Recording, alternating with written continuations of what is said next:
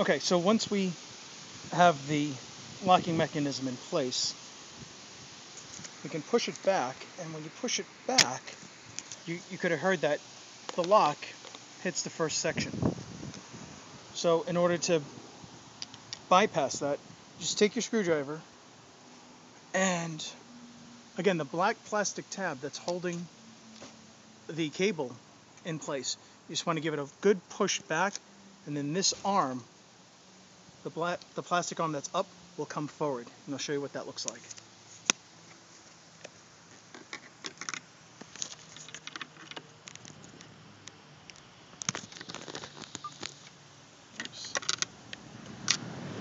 Okay.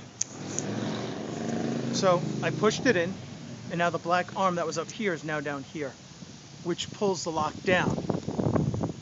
And now we're able to continue pushing in. Here, the screwdriver will be able to push the lock right through and into the first section. Just like that. Just pushing it in, the arm comes down, and now the track, the first part of the track is on.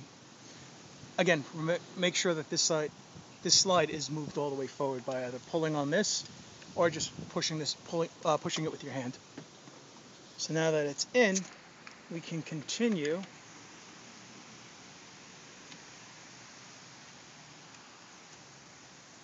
with the rest of it. Just want to get this black tab down and then we're going to push on that metal piece there as I explained on the other side.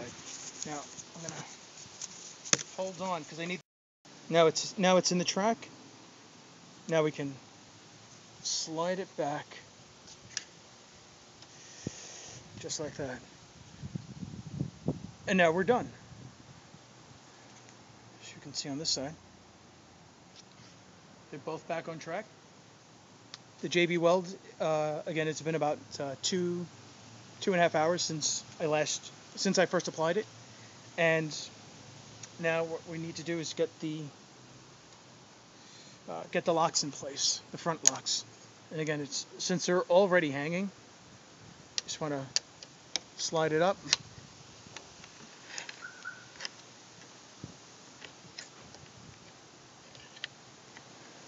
And just put it in place. Now, you may have this screw that's blocking it. Just got to push it in a little bit with your thumb so that it can sit in place. And there. The locking mechanism is back in place. Now we can replace the one, two, three, four screws and then tighten this screw in. Okay.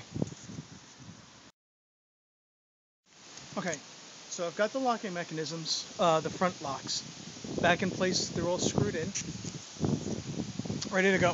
One thing is uh, putting this screw in, you're going to want to have this uh, bottom latch uh, open. So you want to just make sure that your uh, sunroof top uh, locking mechanism is clear so that you can slide this piece back to open that up to get access to this. Now the value of having putting everything in order on both sides. I know that the next piece uh, that I have to put in place is here, and then the screws for the top crossbar, uh, top cross beam that connects the two me locking mechanisms. So we're going to get this, get these two screws and this piece back on. So we have our next piece, which is just the plastic cover, which connects from the outside, just like that. And then we take the there are two screws, a short stubby and a, and a long thin one. The short stubby goes in the front. And then the short one goes in the middle rail right here. So get that done on both sides. And then the next thing we'll do is that metal cross member for the locking for the locking mechanism. Okay, so we have the pieces in place. The next piece is the cross member. Now it's very important to make sure that both locks are aligned um, properly. Otherwise, if you try and put it on and one's further forward than the other, then it's it's going to be a, a, lot more difficult than it needs to be putting it back on. The easiest way of doing that is just pull the locking mechanisms forward right to the point where the front lock, the, the front um, rail piece that we screwed back on where it meets the frame, just bring the uh, plastic piece back here right to the line and do the same thing on that side. So that way you know at least it'll be as close to uh, close to aligned as possible. Now we're gonna go back here where we left this piece, which is nice and hot since it's been sitting in the sun. So from the back, it slides forward onto the locking mechanism. So we just slide it forward and slide it forward until we see the piece there from the locking mechanism and then we can just hold it with our hand. Now we want to get those two screws back on this side and the two screws on that side. And then next step will be to put the uh, canvas top back on.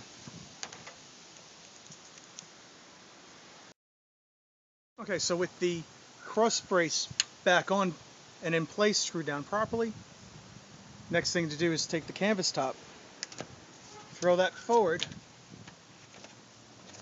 give it a little bit of slack. Now these black tabs we want to put back into all of these slots here. Um, very easy to do, but you want to make sure that this side piece also slides under here, uh, the edge of this, uh, the metal crossbeam. And then once that's done, we can take our metal cable and wire it through the, uh, the latch here. And once that's done, we'll go back inside. Uh, we'll leave this off for now, but once that's done, we can close the top, um, put the motor back in, and then give it a give it a shot. So go ahead and do that, and I'll see you when we're ready to turn this on. Now that we have the canvas top back on place,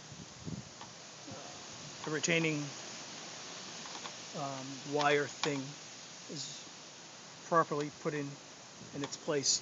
The next thing is we're going to close the convertible top. Now what I went ahead and did was open the latches so that they'll align and fit properly into the guides. So what we're going to do is pull the top down a little bit. Now at this point you can see this is the locking mechanism that we're going to have to use our screwdriver with.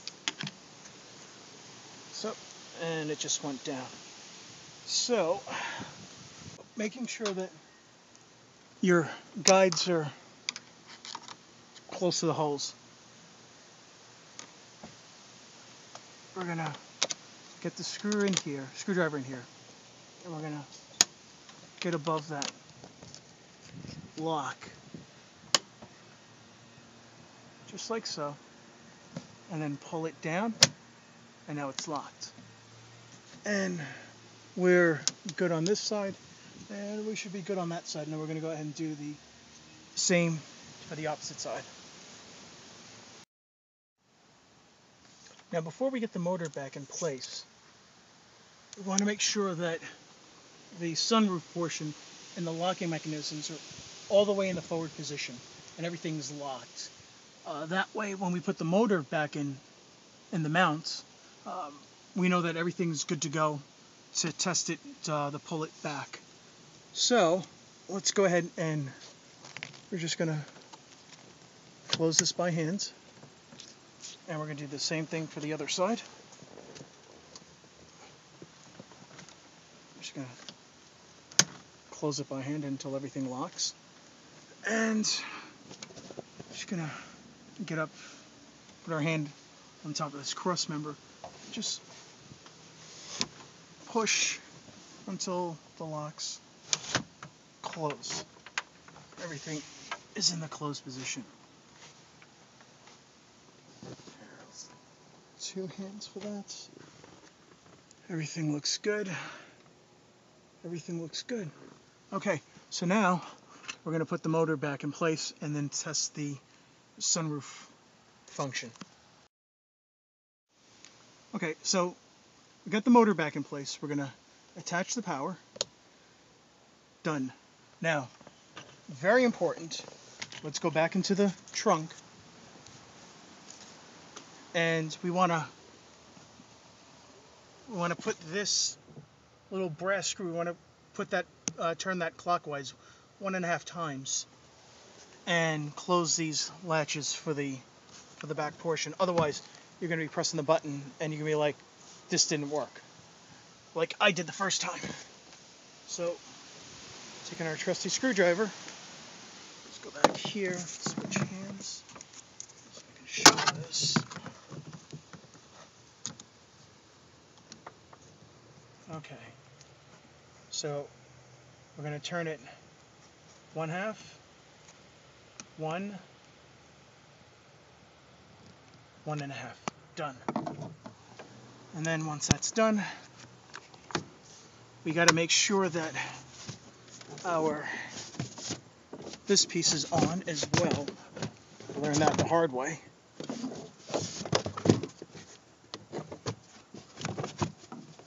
Here, hold on. I'm gonna go put it on and then I'll meet you in the car. Okay. So we just put everything in place and now time to test.